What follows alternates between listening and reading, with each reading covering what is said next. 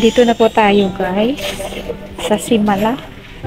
Also known as Sanctuary Castle Oratory of Mama Mary may mass po sila everyday kaya nandito kami. Dito nakita yung buong paligid entrance na niya guys.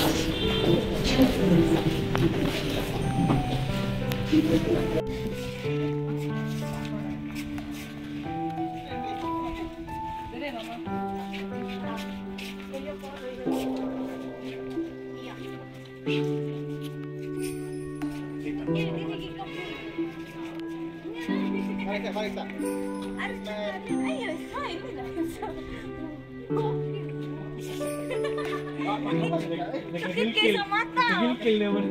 Yan po siya guys. May mga healing testimonies. Yan nakalagay. Mga testimonya sa mga gumaling. At iniwanan nila dito ang kanilang mga gamit nung sila ay may karamdaman. Nakikita nyo guys, may habang linya. Papunta po yan sa mahal na Mama Mary na nasa taas. Yung pamahiin po ng uh, Katoliko Romano. Papunta yun sa taas. Galing na po ako doon.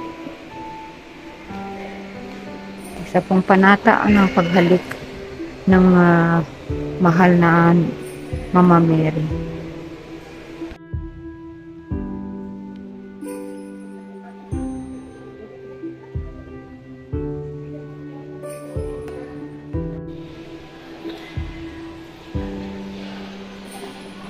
Yun po yung mga mga nahil, nakakalakad na. Inoffer na nila yung wheelchair, yung scratchers nila. Diyan na po may mga sulat, pasasalamat.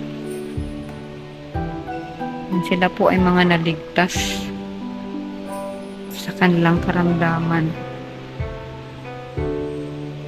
Marami po siya. May mga area pa pong nag-close dahil po renovation.